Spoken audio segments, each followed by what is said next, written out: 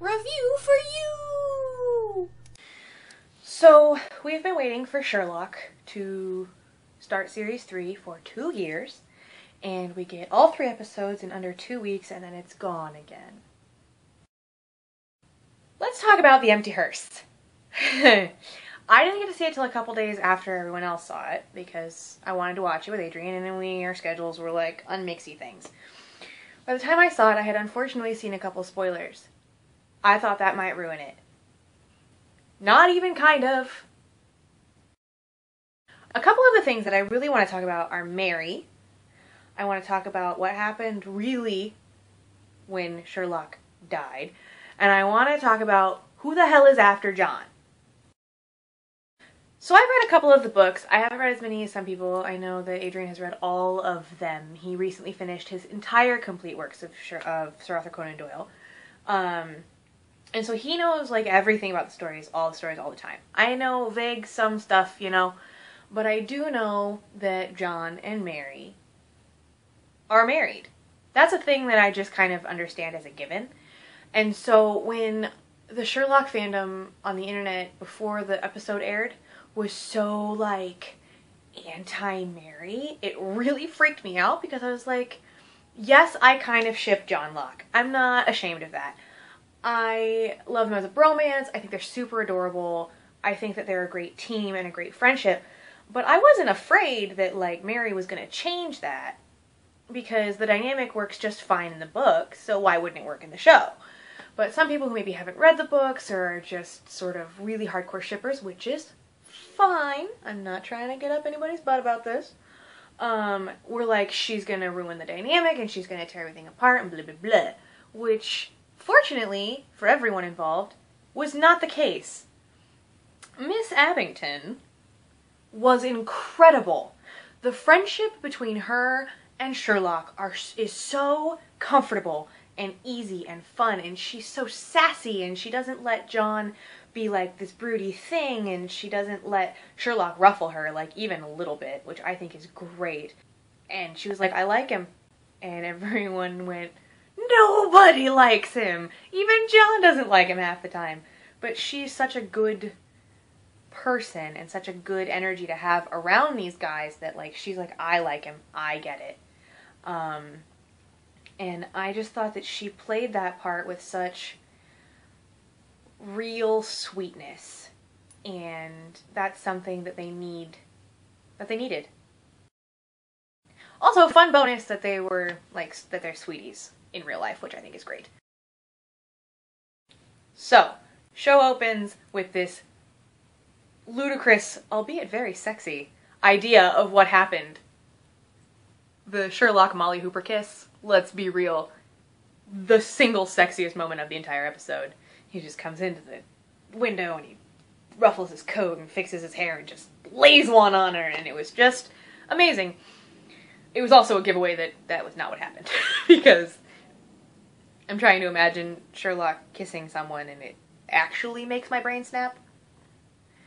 But I love that, like, we open with this theory, and poor Anderson, who's having some kind of horrible breakdown, is like trying to decide what happened and all this stuff, and then we cut towards the end where Sherlock is telling him in great detail what happened. And if you remember back in series one, not one, two, one or two, he says straight up, lies contain too much detail. The truth is always simple. And so, like, I think that's a giveaway that he was lying to Anderson, and we still don't know what happened. We still don't know what happened. I have no idea, and I want to know, and I have this horrible feeling they're not going to tell us in the next episode, and we're not going to find out till series four if it even ever happens. And while I think it's plausible what happened, I think there's discrepancies visually in what happened at the end of the Reichenbach fall and the beginning of the Empty Hearse that I don't think the production team would would screw up. You know, like the way his face looked when he fell, or just like any of that stuff, and just like little little details that I have have me sort of going, maybe that's not what happened. You know. The other thing that really freaks me out is that John was kidnapped. He was kidnapped, just straight up off the street, kidnapped, and thrown into a freaking bonfire. I'm not familiar with villains in the Sherlock novels, so I don't really know what's going to happen. I watched the preview for the third episode today, and I'm still like, what? Who is this person? But we have absolutely no idea in this episode who could possibly want John Watson, one of the nicest human beings on the earth. Who would want them? Who would want him dead? And is this happening because Sherlock is back? Is Sherlock doing something that's putting John and Mary in danger? Like, when isn't he, right? But I just, I'm so anxious about that. And I guess we'll just have to see what happens. Like, I guess it'll unfold however it's going to unfold. But, uh, yeah, that's something that I'm really concernicus about. There's a lot of people online saying um, that Gatiss and Moffat got their plot lines for this series uh, from Tumblr. And while some of the little little beats I recognize from the internet, I think I can safely say, well, bits of it kind of read like a really well written fan fiction.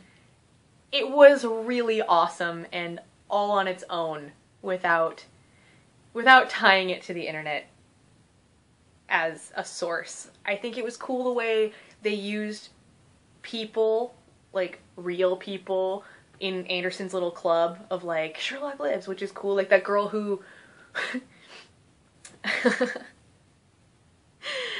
like that girl who shipped Sheriarty, which is hilarious because, you know, just it is. And Anderson was like, "That's crap," but we got the like near kiss between Sherlock and Moriarty, and people were like, "Pandering! That is pandering," and it kind of, it kind of was, but it was funny because it was sort of self-referential, which I thought was classy everything, the whole episode was so beautiful, and I am, for one, very, very excited to see what happens next.